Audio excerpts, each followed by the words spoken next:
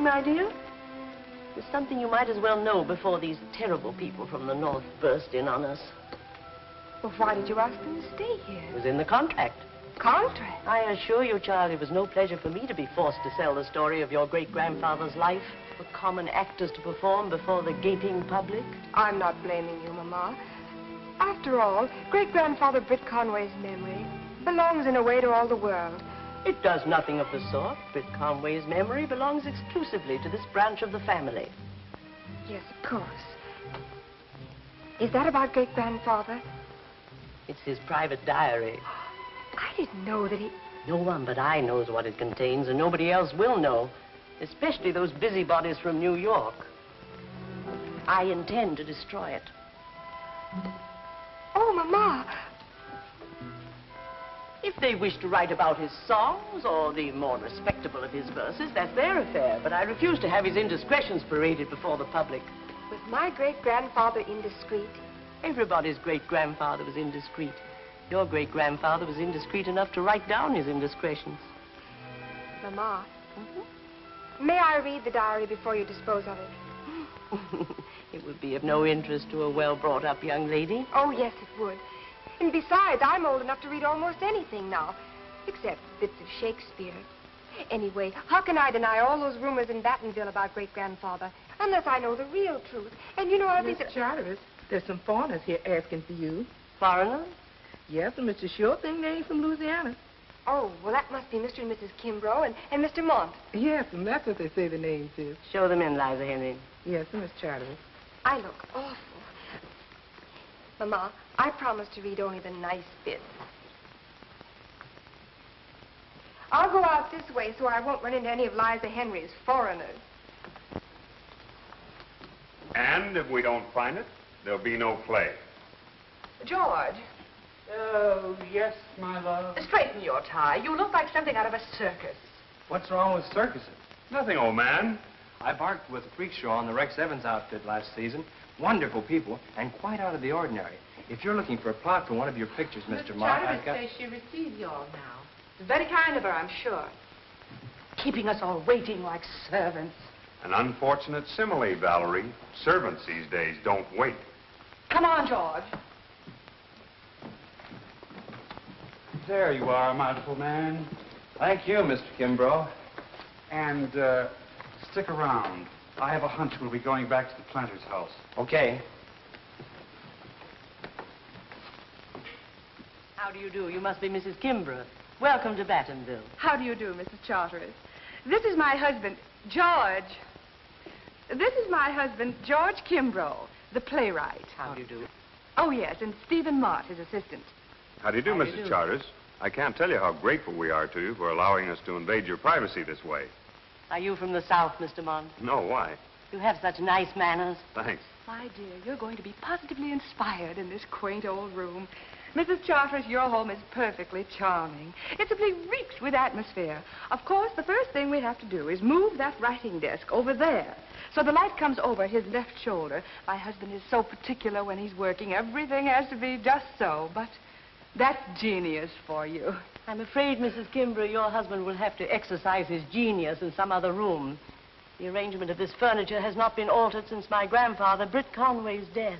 That's very interesting. Did the old boy die here? The old boy, as you choose to call him, was killed in a duel defending the honor of his family. How boring. None of my family. were- Possibly none of your family had any honor to defend, Mrs. Kimbrough. Any day you want a job as a dialogue writer in Hollywood, Mrs. Charters, just let me know. Thank you, young man. I'll remember that. I'll send for Liza Henry to show you to your rooms. I've given you and Mr. Kimbrough the blue bedroom. It used to be Britt Conway's. I bet you'll get a great kick out of sleeping in... George.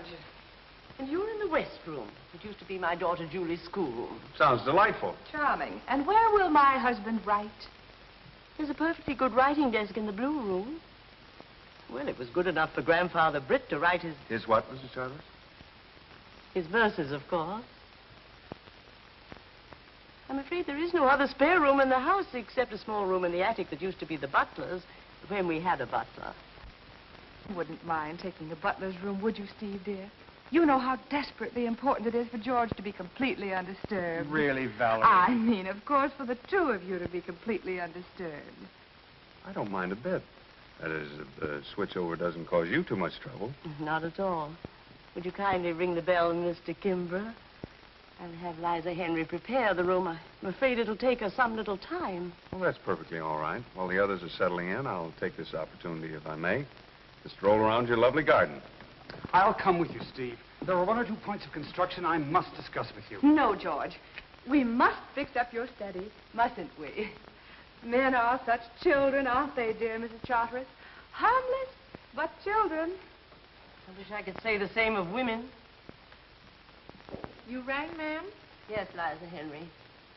January 14th, 1859. Eleven more days until my beloved Marceline returns from her tour. Each day will seem a full year. Past this interminable period, I have started to compose a ballad to be danced. I have chosen the power pirate Lafitte as my subject. Marceline will be adorable as Queen of the Mardi Gras, dancing enchantingly as Lafitte sings. Hear the bayou call, saying love is all. Never think about tomorrow or yesterday. This madness we're sharing will live through the night. No thinking or caring. Sorry to disturb you. Oh, no, you didn't. Are you Mr. Kimbrough? No. I'm the Mont half of our disreputable collaboration. Steve Mont. How do you do? Uh, I'm... Miss Charteris. Miss Julie Charteris. Not only the great-granddaughter of the famous Britt Conway, but obviously a very charming young lady in her own right. Won't you sit down? Thanks. Are you from the South, Mr. Mont? As I have such nice manners? No, because you pay such fulsome compliments. You've inherited your mother's gift of repartee. Say, that's an attractive tune. Britt Conway wrote it. Isn't the music box pretty? It was given to him when he married my great-grandmother. Lovely. How do the words go? No one knows. Britt left no record of them. Mind if I take the music box with me and have a shot at writing lyrics to the tune? Of course not. Only, Only what? Mr. Mont, Steve to a fellow author, Mr. Mont, I want to ask you a question. which I'll do my best to answer, providing you call me Steve. Well, then, Steve, what sort of a man are you going to turn my great-grandfather into? In the play, I mean. Well, an interesting one, I hope. Oh. Well, that's what I was afraid of. Why? Well, you see, Mother doesn't approve of interesting men. And you, Miss Julie? Oh, I like them. Well, isn't it possible to write a play about a good man and make it interesting, too? Like, uh, well, like Jefferson Davis or Woodrow Wilson. Was Britt like Jeff Davis or Wilson? No, not very. What was he like? Well, you saw his portrait in the drawing room. I didn't believe for one minute that was Britt Conway. Well, I'll have you know that that portrait was painted by a gentleman who comes from one of the first families in Louisiana. It looks like it. I take it back. You're a typical Yankee. Good. I like to see a bit of the Conway flare up in you. It's very becoming. You know nothing about Britt Conway. And I'd have a feeling that nobody around here wants to give me any information about him. No scandal, if that's what you mean. Darling, uh, don't you think those things are a trifle short? Well, long or short, they're better than the rags that we're hanging here. Don't you think the whole effect is rather chic? I guess it's very artistic. The only thing is, it makes me feel dizzy. Always the enthusiastic husband. Always give the little woman a pat on the back. If you ever said anything halfway decent to me, I'd fall right on my face on the floor. You love it. This here's Miss Julie's schoolroom. Oh, my goodness. I mean, it was Miss Julie's schoolroom. Supper's at seven if y'all feel strong enough. If you're all through with the decorating, ma'am, I have to be getting back to the planter's house. Yes, well, run along, young man. Oh, and, uh, thank you. Thank you very much, Mr. Kimbrough. You know, I've seen you somewhere before. It couldn't have been... No, it couldn't have. Besides, we hardly move in the same circles, do we? I don't move in circles at all. I come straight to the point. Looks like old times to see Valerie's drapes up again. You remember the last time, George? Sure. It was in uh, Wilmington, Delaware, when we were trying out Tenderly Yours. And some old dame popped in, thought we were running a fortune-telling parlor. Oh, if that's the kind of humor you brought back from Hollywood, I only hope you won't persuade George to use it in the new play. And certainly not in my role. Talking of that, were you able to get any information out of the old dame? Not a thing, either from the mother or the daughter. What's she like? Uh, the daughter, I mean. Oh, all right, I suppose. Not your type at all. What do you mean, not George's type? Well, I mean, not like you. You are George's type, aren't you? Oh. well, come along, George. If supper's to be at seven, we have to tidy ourselves up. You go ahead, dear, and I'll be along in a minute. There's something about your part in the play that I must discuss with Steve before I forget it. Oh, all right. I'll allow you five minutes. Steve, you're not to give George anything to drink. He's given alcohol up completely since you went away to Hollywood, and I'm not going to have that starting again. Where would I have a drink on me to give George? I don't know, but I want you both to remember that we're going to lead normal, healthy, country lives as long as we have to stay in this quaint old morgue. And I haven't got a drink on me. Don't you bother your pretty little head about it. Say, she hasn't really reformed you, has she? I can work with almost anybody, but I draw the line at a reformed drunkard. Just a minute, brother.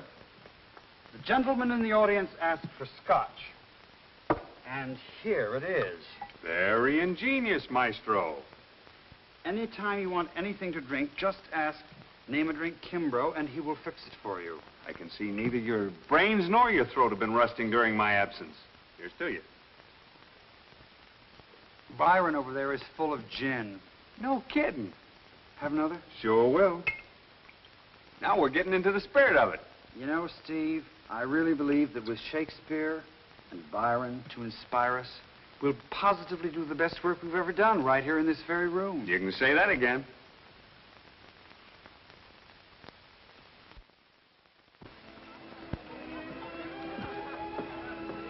Hey, Marcel, Yes, have you any absinthe at this dump? Absinthe is not permitted to be sold by law, and the Chez Marcel is not a dump. Yeah, what is it? It's a bistro. And what's a bistro? Bistro is the French for dump. Oh. You'll go a long way before you'll find a swell gal in Marcel. Stands for no nonsense, either. Isn't she some relation of Britt Conway's? Well, sure. She's his great granddaughter, just like Julie Charteris. Only the Charteris side of the family put on all the airs. Marcel runs the best dump, uh, I mean bistro, in Battenville. Speaking of Britt Conway, have you run across those two Yankees that's been stopping at the Charteris since last Sunday? Our firm drew up the contract with them for the old lady. What contract? It's supposed to be a secret, but these men are writing a play about Britt, and have paid well for the privilege. Oh, so that's how the long outstanding Charterist accounts have been settled. Mhm. Hey, Marcel, come here. Quick. What's the excitement, Pete? With the planter's house burned down? No, Marcel, but get a load of this.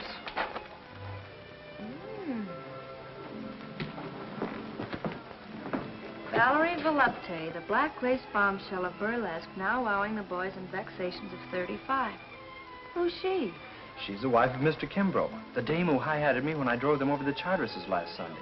You mean the wife of Kimbrough who's writing the play about great-grandfathers? Sure, and it's a perfect setup for us. What is? Let's sit down and I'll explain it to you. Don't you see? These guys are down here to get the real dope on Britt and your great-grandmother, only they've gone to the wrong house. They'll never get anything out of the Charterists, and you can give them the real lowdown. So I walk up to Mrs. George Kimbrough, and I say, hey, babe. And she says, young man, how dare you? And then I whip out this paper. Then she faints, blackout, and where are we? Ah, but I'm still there when she comes to. And then I say, now you listen to me, kid. And she says, what is it, honey child, being more democratic because of this paper? And I say, there's a gal in this town called Marcel Conway, and she's a real descendant of old man Britt. What's more, she's got the real lowdown on him, too. She'll sell it to you, but for big dough. Then you people can write the play, and I can act Britt Conway in it. Well, she'll stall around a bit, and then I wave the paper in front of her face again, and she'll say, okay, pal, curtain. And then what? Then we'll be married. No, Pete.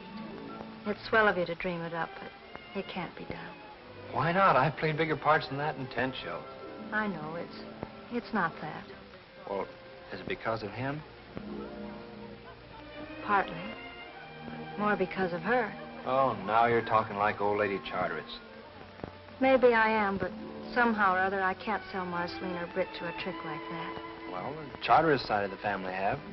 Perhaps I have more pride about Britt's second wife than they have about his first. What's pride going to get you?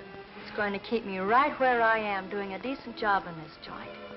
Being looked down upon by the wives of the guys who slip down here every chance they get to have some fun and a little music and a lot of laughs. And if you want to know the real lowdown, Pete, I wouldn't trade my lot with that of Cousin Julie Charters for anything in the world. Atta girl.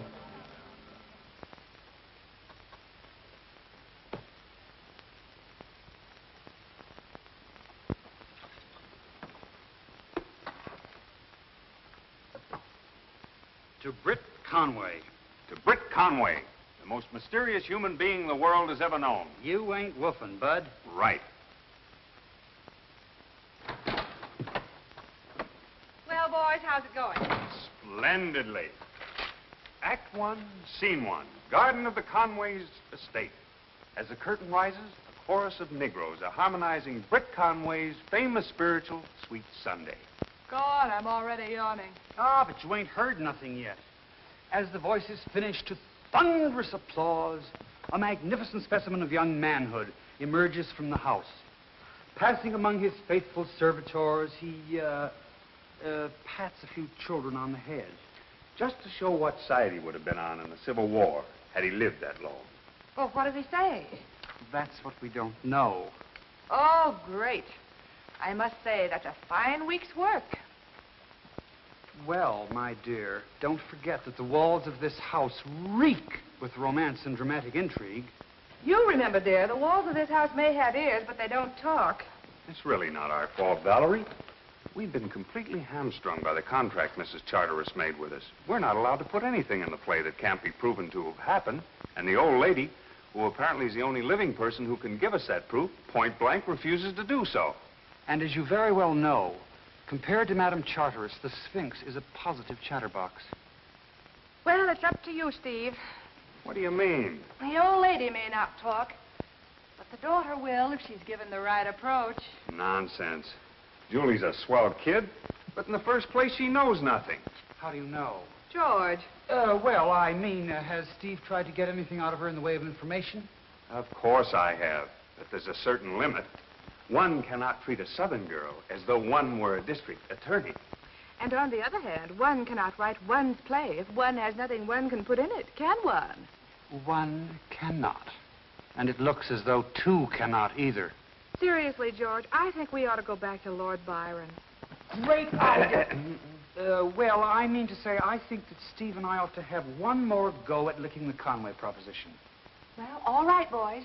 But if we don't get anything out of the committee meeting this afternoon, gee, I forgot. I look awful. I have to change my dress. Do we have to go downstairs?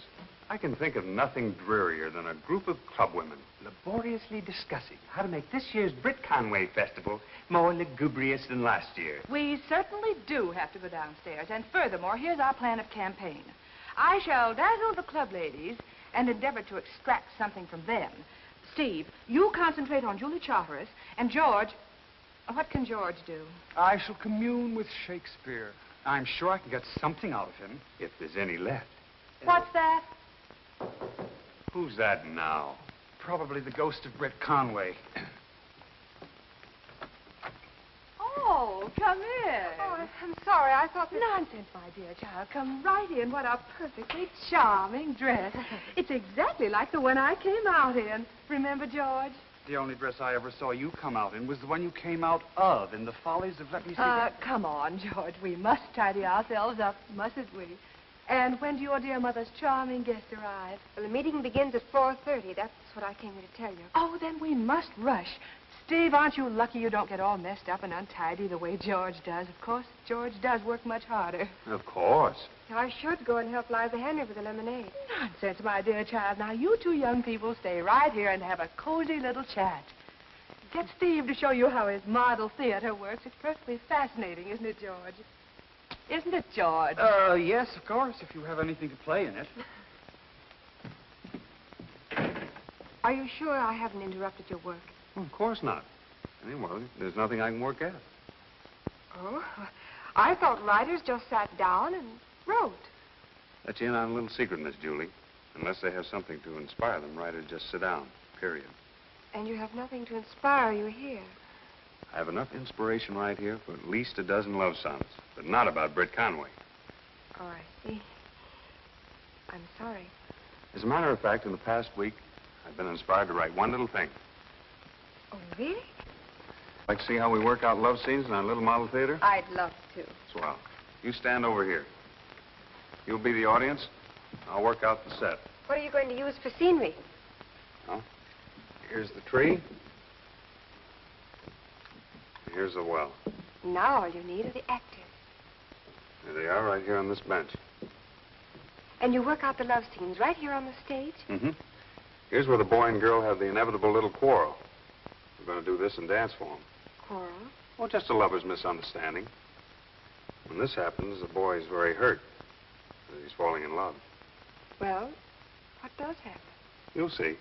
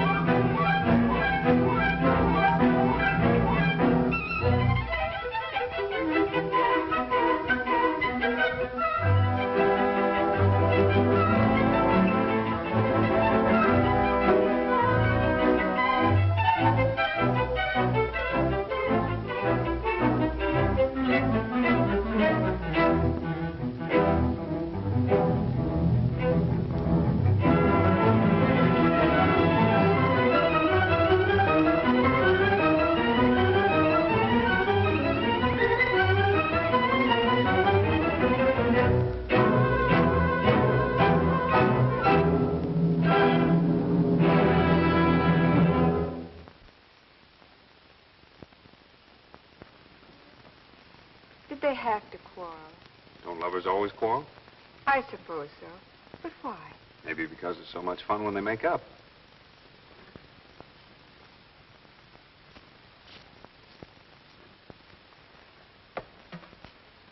That's a better finish, isn't it? Miss Julie, the ladies are beginning to arrive now. I done told Miss Charters that you always help me with the lemonade. I can't keep on saying that. Y'all better come downstairs now. Won't you sit down, ladies? My daughter will be here immediately. Excuse me. You, I believe, are Miss Lanning? Indeed I am. Indeed I am. Well, isn't that nice? Oh, I can't tell you how proud I am, Mrs. Charters, to become social editor of the Battenville Gazette. Of course, I realize it's a tremendous responsibility, but I promise you that I intend to make the fame of my column ring throughout the entire South. I'm sure you will. Of course, we in Battenville were very fond of poor Hattie Cunningham, your predecessor. Whatever she wrote was in the best taste. Oh, indeed it was. And I can't tell you how distressed I was when I heard that after all those years of faithful service, they had to take her off to a mental home. That, Miss Lanning, is something we don't discuss in Battenville. Oh, there's that darling Miss Pape. I... Oh, excuse me. You're late, Julie. I know, Mother. I'm so sorry. Oh, how do you do, Miss Calhoun? I'm so glad you could come. I'd like you to know Stephen Mont. How do you do? He's writing a play about great-grandfather, you know. Excuse me? We're all mighty proud of Britt Conway in Battenville, Mr. Mott.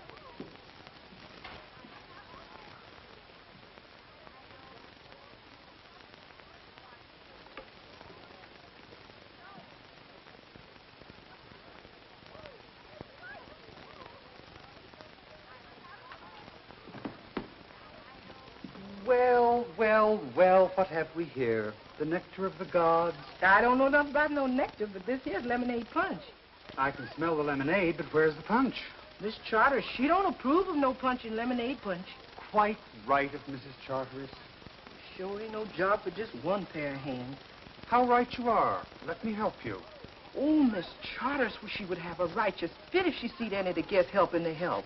Well, I tell you what, then. I'll stay in here and mix the punch, just to keep it nice and cool, while you go on out and serve the food. You're sure kind, Mr. Kimbrough. We appreciate your help. Heaven helps those who help themselves. Drink to me only with thine eyes, and I will pledge with mine. Mr. Mont, at this meeting, we intend to discuss the annual Britt Conway Festival intelligently and soberly. As a girl.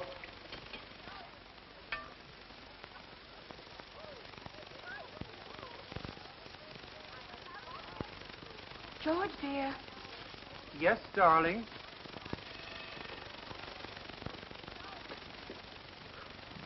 How do I look, darling?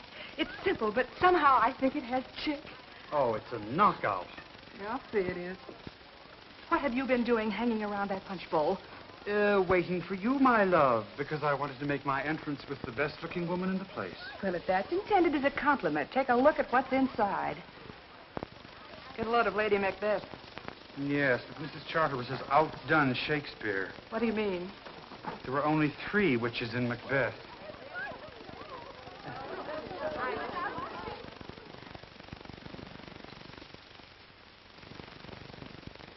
Ladies, I want you to meet Mr. and Mrs. George Kimbrough. What a clever idea of yours, Mrs. Kimbrough, to come to the meeting dressed for the festival.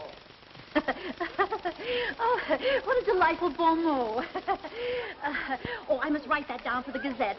Mr. Mont, how did it go? Right over everybody's head. oh, you're all so brilliant and witty. Poor little me. I feel quite out of it. Oh, not at all. Uh, Liza, would you give Miss Lanning some lemonade? Yes, sir, Mr. Mont. Liza Henry's lemonade punch is famous in Battenville, I'm told. Oh, really? Yes, ma'am. I reckon this lemonade punch is going to make history. Why so pensive, Miss Julie? The lovers did get together, didn't they? The end of the dance.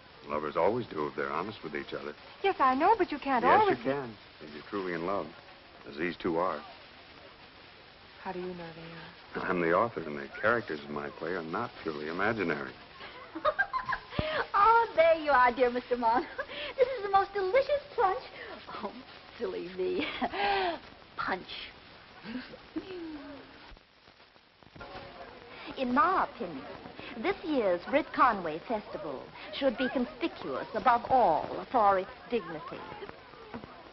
Precisely. Oh, thank you. I will. Some lemonade, darling. No, thank you. For once, I'd like a real drink, and a stiff one at that. I'm perfectly satisfied with this. Oh, Mr. Kimbrough, that delightful Mr. Mont has just told me that you and he are writing a most fascinating play about our own Britt Conway. I'm Miss Lanning. Oh, Mrs. Kimbrough, I do hope you're going to allow me to describe your scrumptious gown in the Battenville Gazette. On Sunday, perhaps. Somehow or other on Sunday, they allow us to be just a little more, how shall I put it, uh, risque? If Battenville can take it, I can.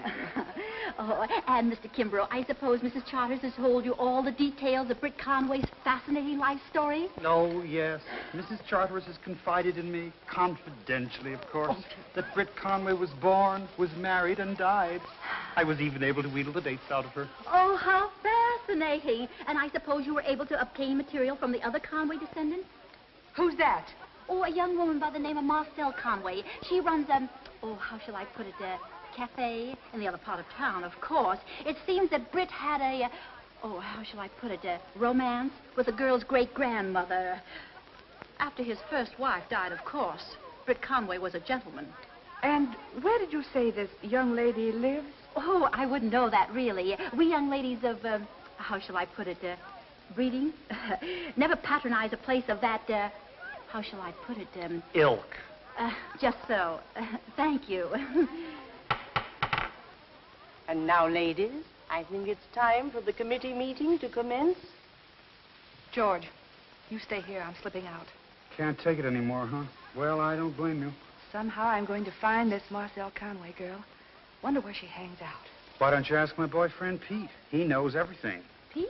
Yeah, you know the boy at the hotel. The one who thought he knew you when. The first bright idea you've had in a week. Now listen, I'll take Steve and we'll find this dame if it takes all night. You stay here and amuse these ghouls. Amuse them? I'll have them rolling in the aisles. Let's forget about tomorrow or yesterday.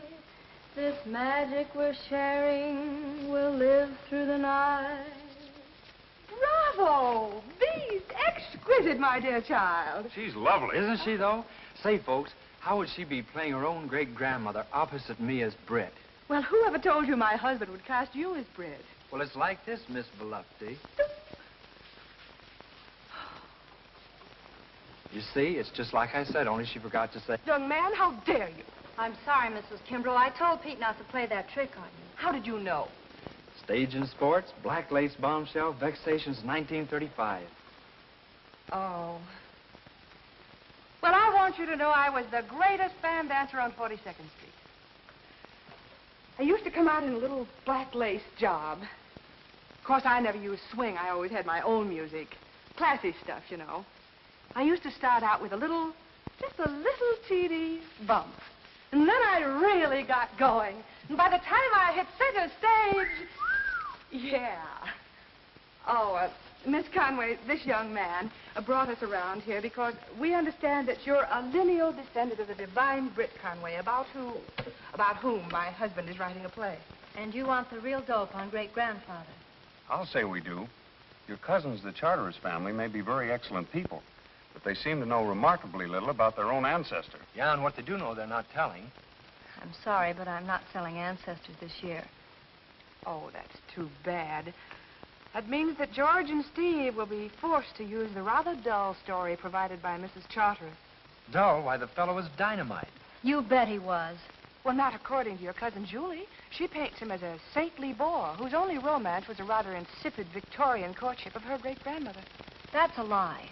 Britt had one great romance, and that was with Marceline. Well, there were other romances in his life, but his first wife probably meant less to him than any of them. He didn't fight duels over her as he did over Marceline.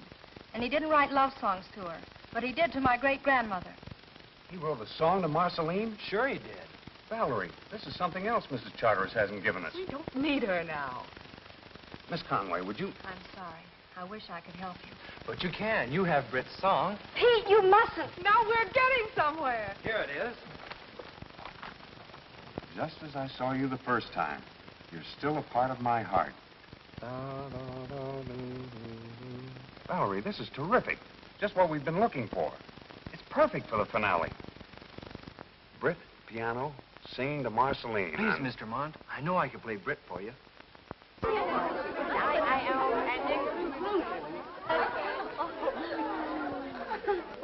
I know you will be pleased to hear that those eminent men of letters, Mr. George Kimbrough and Mr. Stephen Mont. Ooh, I'd like him for Christmas.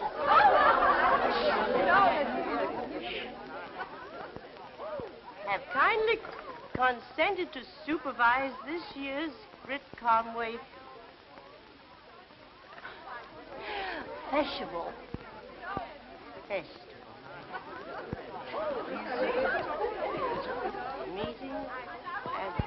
amanhã.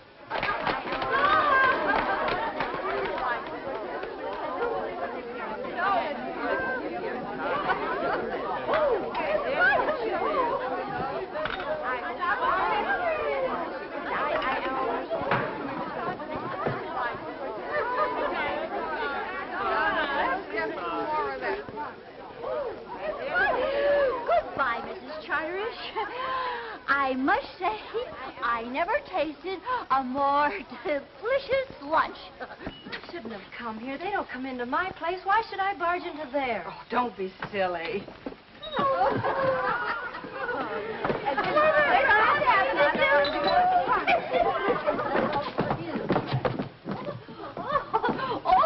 oh, you're late. The meeting's over. and you should try the lush. Oh, it's to pinches. oh, Uh-oh. I haven't seen anything like that since I was a bootlegger in Cedar Rapids, Iowa. Well, come on, kid. Is anything left to tidy up? Only Miss Calhoun. Looks to me like she gonna be here to Judgment Day. I can't understand what could have gotten into Mother's gift. I can. So can I. What is the meaning of this? How dare you bring this woman into my house? Well, from the looks of your guest, you should be flattered to receive anybody who can still stand up. Introducing the contestants in tonight's main event. On my right, battling Charteris. On my left, Kid Kimbrough. Be quiet, George. This is serious. We found Marcel Conway, a real descendant of Britt's. Well, I'm very happy to know you. How do you do? Any luck? She can tell you the true story of Britt Conway. Yeah, and it's a pip. Miss Conway can tell you any story she chooses to fabricate, Mr. Kimbrough, but not in my house. I've no reason to invent a story about Britt Conway and my great-grandmother, and I've no reason to conceal anything. I'm proud of them. And I'll be obliged if you'll take your pride and your gossip back to the disreputable place you run, wherever it is. Mother, please. Mrs. Charteris, can't we sit down and discuss this thing rationally? There's nothing further to discuss. Oh, yes, there is. We made a contract with you to tell us everything about Britt Conway. You took our dough and didn't deliver. Naughty, naughty. That doesn't excuse you from bringing an unwelcome guest to my house. Mrs. Charteris is right. Even the lowest joints have the right to refuse service. I'm sorry. If Miss Conway goes, we're going too. That's right. That's your privilege, Mr. Mont. But before you go, may I remind you that by our agreement, you're forbidden to put anything in your play about Britt Conway that cannot be proved in writing. Would it be too much to expect of Southern hospitality to see that our bags are packed and sent to the planter's house, where we shall be taking up residence? Pete, Yeah, I know. You want me to take down all that junk you hung up upstairs. what do you mean, junk? That's priceless batik. Have it your own way, bombshell. Steve, George, Marcel, dear, since none of us are welcome in this house, we'll wait outside until Pete comes downstairs.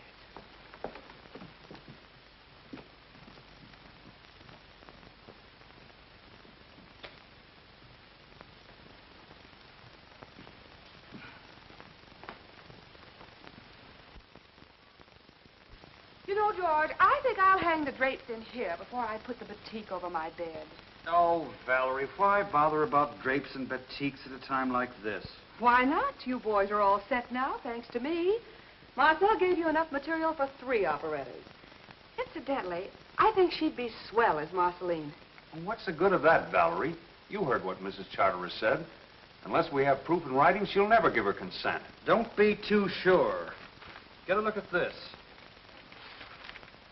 Plans for Britt Conway Festival by Eurydice Lanning, Society Editor. At the magnificent home of the genial Mrs. Ambrose Charteris and her delightful daughter, known to her intimates as Miss Julie, the advisory committee for the Britt Conway Festival was royally entertained on Tuesday afternoon. The food was sumptuous and the punch was pernicious.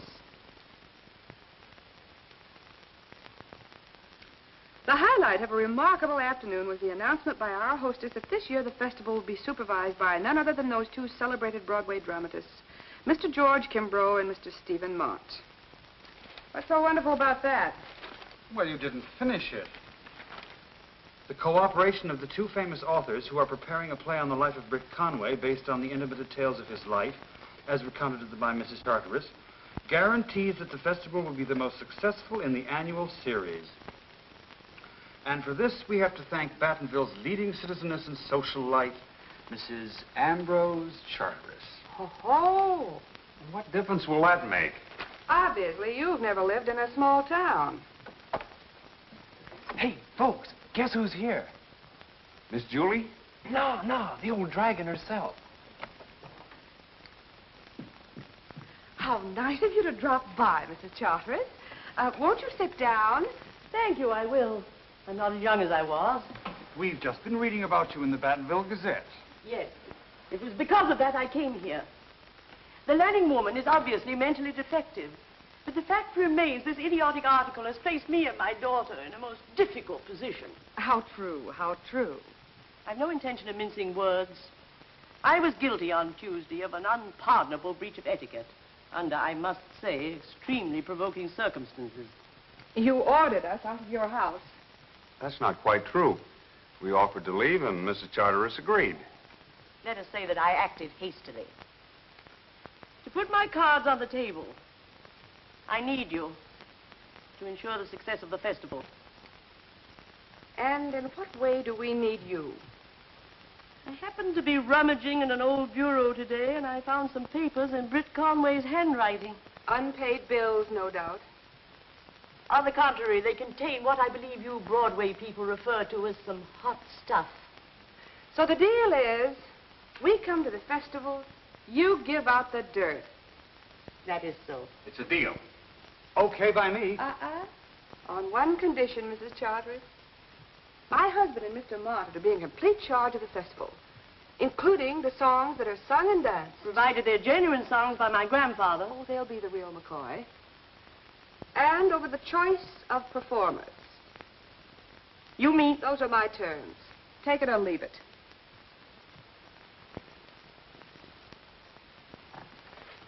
You leave me no alternative. I accept. I can only say this of you, Mrs. Kimbrough. You represent the triumph of mind over manners.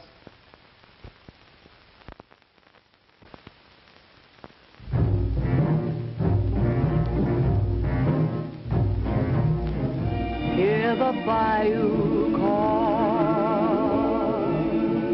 saying love is all. Let's forget about tomorrow or yesterday. This magic we're sharing will live through the night. Somehow I feel Britt wrote this with his heart. Not Thinking, not caring if it's wrong or right. Creoles chatting low tell us this is so. Only fools refuse the spell of the bayou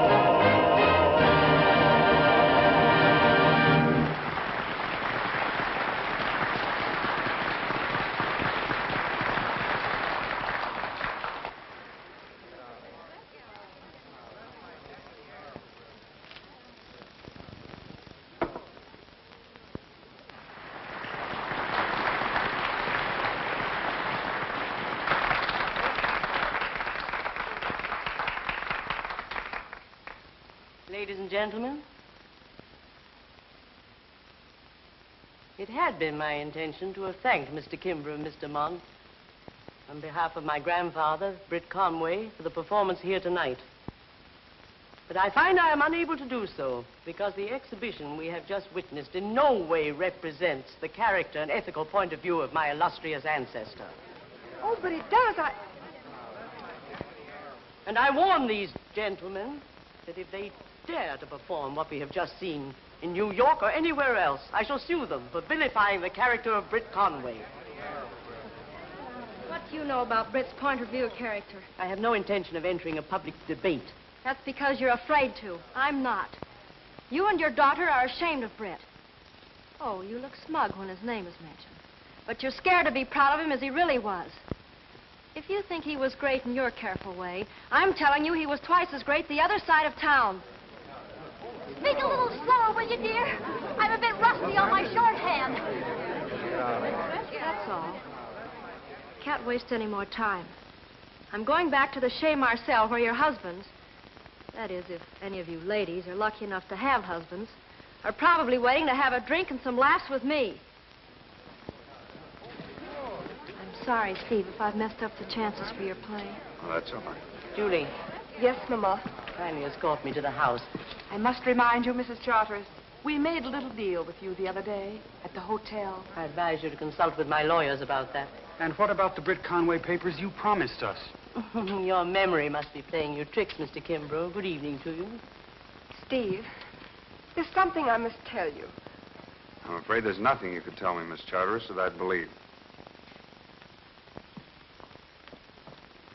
Come on, let's go to Marcel's place. We need some fresh air.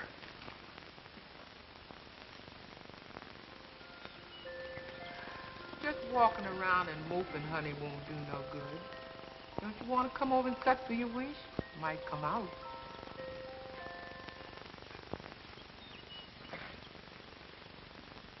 I wish I were dead. When you tell your wishes, they don't come true. I tell you, Miss Julie, what we'll do. We'll make it your fortune instead. Look, honey. Now, here's how your fortune starts. Now, this here's your picture, the Queen of Hearts. Look at how she frowns. That means your heart is aching. And if I ain't mistaken, it's on account of this here Jack. I do believe it's Mr. Steve. Miss Julie, honey, the reason why you're feeling bad is because you holding back something he ought to have. This two of hearts. Now, that means a man and woman's story. A man and woman that long ago done gone to glory. I reckon it's about Mr. Britt. Miss Julie, you just won't admit to Mr. Steve your grandpa was a natural man. And, honey, ever since the world began, men folks has been men folks. Don't you understand? Well, that story would bring shame on the family name. Well, there ain't many men the Lord picked out to write real music. The Lord is forgiving of mistakes a man like that done made in living. And if it's Mr. Britt's life you begrudging, then, honey, you cause yourself better judging than the good Lord himself. You're right, Liza Henry. I must get Britt's diary to him. But how? I don't want Steve to think I'm chasing him. I guess the Lord will forgive me for what I did. So here's the old diary. And for hiding, I'm amply provided. Boy, I'd have given anything to have heard you give that old dragon the works. It was a dumb thing to do, really. The boys lost a chance to do the play, and now I won't be able to show people what Marceline was really like. Yeah, and Broadway will never see me as Britt Conway. I know. It's tough on you, Pete. It's tougher on Broadway. Guess I'll have to go back to the trapeze act. Is there anything you haven't been? Yeah, married. But we'll fix that, won't we, honey? Excuse me. Marcel, I had to come to see you. Why? I have something for you. I can get along quite nicely without hush money, thank you. Oh, no, it's not that. Anyway, I don't have any money. Marcel, I have to speak to you. Privately. Privately meaning without me? Pete, would you mind running downstairs? Yeah, I know. I've played these scenes with tent shows. Why did you come here?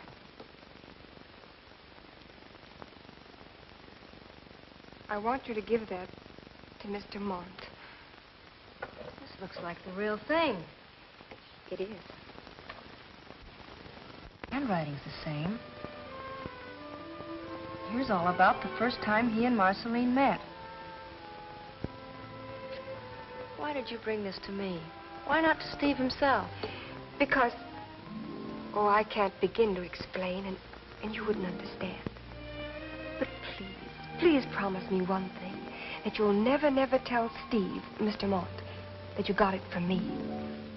Will you promise? It's a deal, Cousin Julie. Marcel, please believe me. I. I must go. Do you know what I believe? For the first time, I believe that Britt Conway really did marry your great-grandmother. Thanks. Oh. Oh, well, thanks anyway.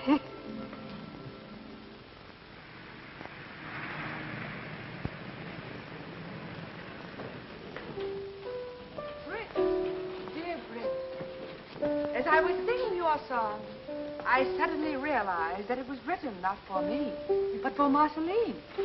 You can deceive with words, but melody cannot lie. No, Valerie. Try and get a little real feeling into it. You're supposed to be a dame who suddenly discovered that the boy she loves has gone sour on her. It's these ridiculous words you've written. There's no poetry in them. As, for instance? As, for instance, as you were singing your song. Well, what's wrong with that?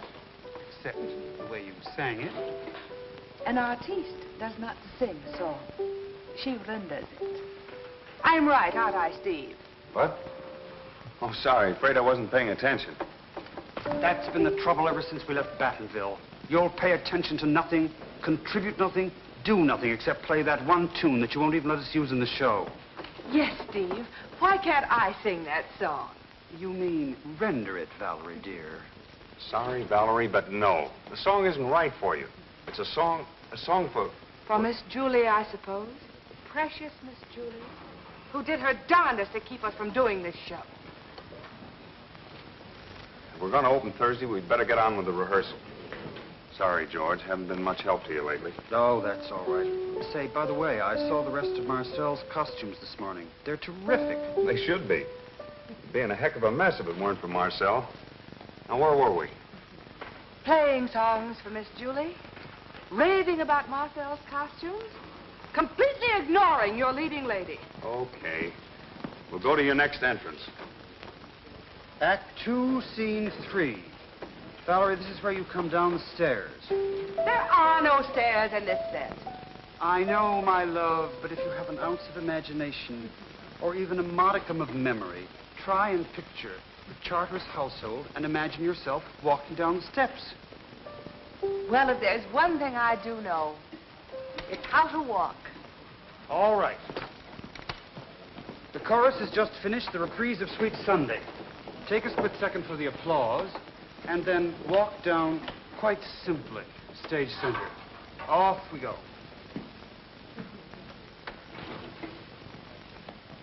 Oh, oh, oh, what have I done to deserve this? You've written a very silly play, and what's wrong anyhow? I said walk, not slither, slide, and squirm all over the place. You're supposed to be a southern lady, not a snake charmer at Coney. Listen, George Kimbrough, and listen good. I did plenty okay with fans and bubbles and doves, and long after your gallant balladeers back in the warehouse, I'll still be waving a fan, see? I shall now retire to my dressing room until you are ready to render your apology. Much as I admire my grandfather's compositions, don't you get a little tired of hearing that same tune all day long?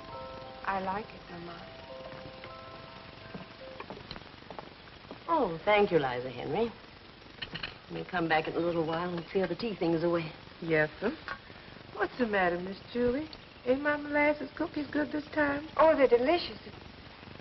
I'm just not hungry, that's all. We ain't had enough to keep us there alive since Mr. Steve left. Why, Julie, there's a letter from your Uncle Horace in New York. Isn't that nice?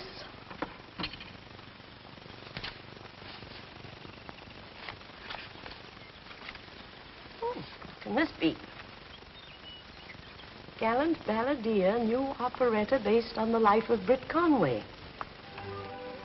On Thursday next at the Monarch Theater, Gilbert Wilson will present a new work from the prolific pens of George Kimbrough and Stephen Mont. The story of this musical is based on authentic data found in a diary written by Britt Conway himself. This diary was discovered only recently by the enterprising authors while visiting descendants of the famous Southern balladeer in Battenville, Louisiana. There can only be one answer to this. Liza Henry must have been bribed for those creatures. That's not true. I took the diary. I gave it. My daughter. No, Mama. Britt Conway's great-granddaughter. Oh, Mama, I know how you feel. But times are changing. It isn't that people are any less strict in their standards. It's, well, it's just that they're more human, more understanding. Nonsense. Humanity and understanding are modern words for laxity, sloppy sentimentality. I presume you've temporarily taken leave of your senses. Until you recover them, go to your room and remain there.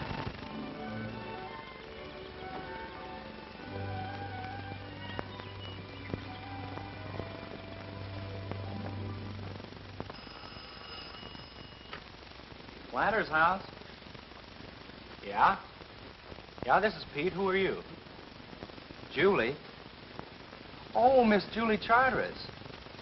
Why, yes, Miss Julie. I guess I know most everything. Where could you pawn an antique music box? Now, let me see. Why, yes, sure I know. Curtain Going up. Take your seats, please. Curtain going up. Take your seats, please. Curtain going up. Take your seats, please. Curtain going up. You'd think after 15 years it would get better, but it doesn't. Remind me to close my eyes when Valerie makes that entrance down the staircase. I shall have passed quietly out long before that. Say, there's John Furbank of Morning Courier. Give an ear and find out what kind of a mood he's in. I'm so nervous I've gone stone deaf. Okay. Going to enjoy this. What's wrong, dear? Never should have eaten those oysters.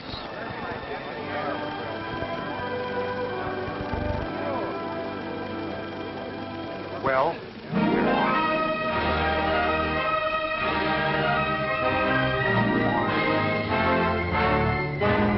Ever again.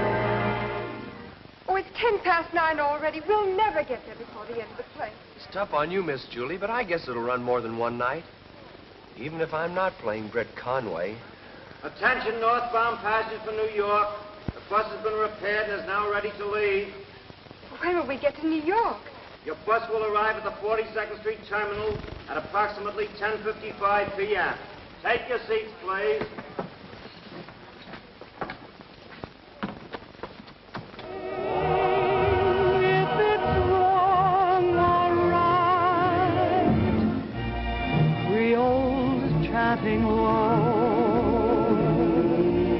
Tell us this is so.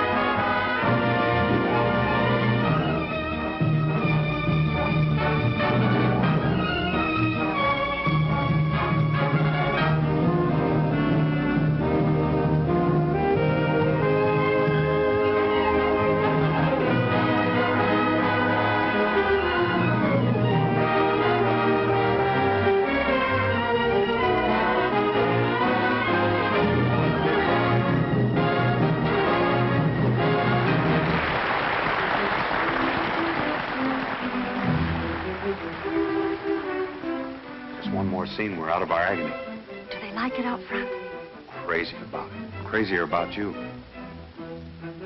I wanted to tell you, Marcel, that if it hadn't been for you, the show never could have gone on at all. I'm good, Steve, but not that good. I meant the diary. If you hadn't found it for us, there never would have been a gallant balladeer. Steve, dear, I'm going to do something I've never done before. I'm going to break a promise. A promise? I didn't find that diary. Julie Charteris brought it to me and made me promise I wouldn't tell you where it came from. Julie? But why? Because she's in love with you, you dumb cluck, and she got it into her head that you and I were in love. Which is silly because apart from knowing that you and Julie are, Pete and I are.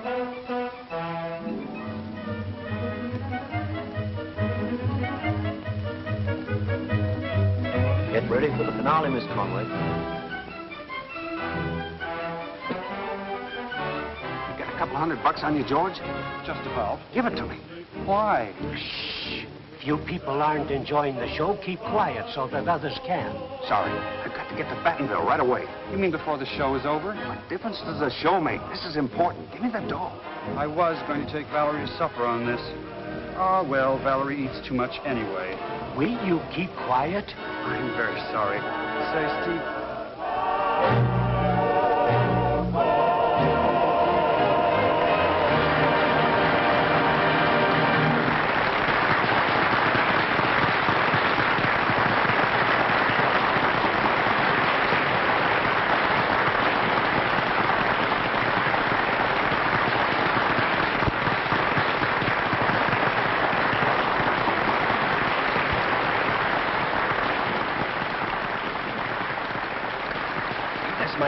Marcel, taking her call. Is she gorgeous? Sure. Who's that guy taking the call with her? Britt Conway, of course. Boy, is he corny. Told you you'd enjoy it. Excellent. Uh, excellent. What's that music they're playing? I like it. I was not in the show. It wasn't written for the public. A song for Miss Julie.